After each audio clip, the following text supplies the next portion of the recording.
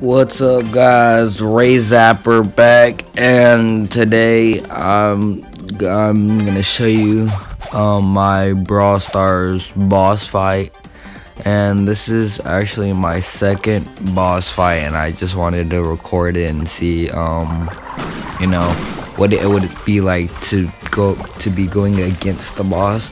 The first time I played I was the boss and it was actually pretty, you know, pretty fun because being the boss, you have more power.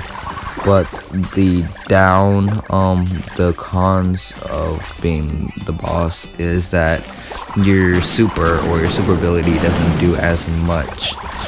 Um, because when I used Spike's um, ability and I placed it down and I tried to heal myself with it, it only healed me 150 health instead of 600 which is you know I thought if I use spike then you know I would have a, an advantage because I have you know healing powers because I upgraded um my spike all the way. But as you can see we are going against Crow which is another legendary which is really good. And our team is getting wrecked. You can't see the time but it's like two minutes in and we still haven't done um that much damage.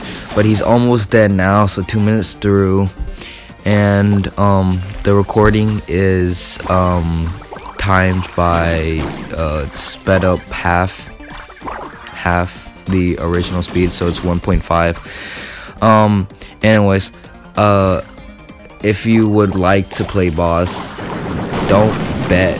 Like more tickets so like if you put five tickets in it's five times rewards. Don't do that unless if you know that you're really good and if you're just a beginner stick with the original um original uh, game modes such as uh, smash and grab bounty and showdown. Stick with those. But yeah this is my brawl stars boss um review and i'll see you next time